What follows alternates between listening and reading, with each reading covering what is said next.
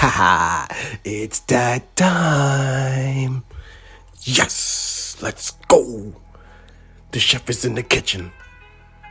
The chef is in the kitchen. How can anybody say that he is not in the conversation of the greatest of all time? How? Trust me, I know what MJ did. I know what Kobe did. I know what Bron is doing. The greatest of all time is not just about stats or ships or awards. It's about the impact on the game of basketball. And I'm having a hard time figuring out who has had a bigger impact than the chef himself. He has brought hope, hope back to the people you could love God and still be great.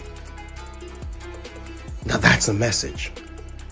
He's wearing his armor, the whole armor. He's even reading from the book of Leviticus, talking about eating clean meat. So, class now in session. The master chef is about to teach us again how to cook the curry good. Hashtag curry good. So this is a no sauce zone. Straight seasoning. Steph is proof that when your steps are ordered by God, you find your divine plan. There's nothing you can't do. Because when you're weak, He is strong. The team have lost and gained some valuable pieces. Some major changes has happened. But the core remains strong. So does Golden State have what it takes to stay at the mountaintop? Knowing that the road is going to be that much harder, more challenging? They've already proven to us when you doubt them or put them as underdogs.